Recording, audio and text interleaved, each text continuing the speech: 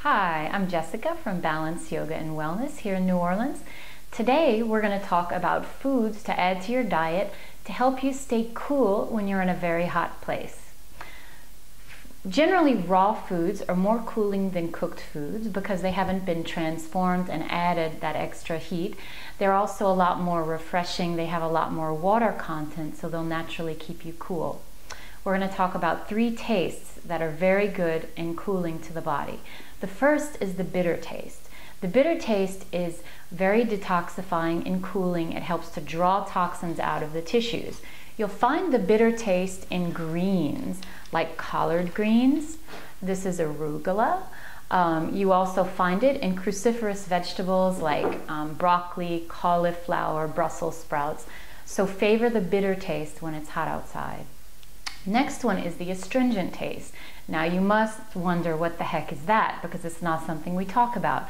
Astringent helps to draw the tissues together. It helps to help helps them to heal as well. You find it in honey, um, but especially you find it in things like cucumbers. Um, so cucumbers are cooling. You can put them in your diet, but cut them up and put them on your face if you're feeling very hot, or on your eyelids.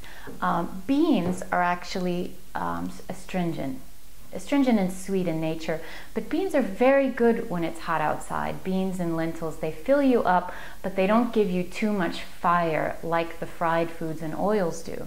So these are also lentils, tur dal, mung dal here, but canned beans are okay. Try to buy organic ones uh, because some canned foods are lined with BPA, which is a hormone disruptor. So you want to be careful about which canned foods you eat, organic black beans.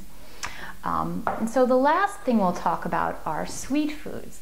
Now, I'm not talking about popping Snickers bars and peanut butter cups. That's not what we mean. We mean unrefined sweet, sweet in its pure form. Um, so the first neutral sweet taste we think you might not think of it, but whole grains, right? So whole grains should be the mainstay of your diet. Rice, oats, and quinoa, any whole grain, millet, amaranth, wheat. There are lots of them. Try to eat them in their least processed form, so as whole as possible, because then they contain all the fiber and nutrients. Other sweet foods are fruits. So we have our tropical fruits. Naturally, they grow in hot places, so they're very good for us. Papaya, they're good for cooling you down. Locally, we get more berries. They're also very good figs. These are dried, but fresh figs are especially excellent. And dates. Dates are excellent when it's hot outside. Very cooling to the body, also very nourishing. Apples are great. Sweet potatoes are also great. They're another food local to us in Louisiana. Now, some drinks we can add to the diet, which are also sweet.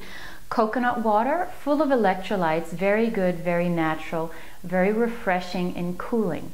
Now, if you don't want to get the extra sugar, sugar, there are also electrolytes like Ultima. Um, I really like Ultima because it's made from fruit, naturally sweetened, low in calories, um, and it's natural. So a lot of the electrolyte drinks are made with ascorbic acid, which is actually made from corn. And a lot of the corn these days is genetically modified. So I prefer to stick to natural things to keep us sweet. Or you can just have a little bit of fruit juice with some sparkling water and it's almost like a cocktail without the alcohol. So thank you and I hope these things help you. See you next time.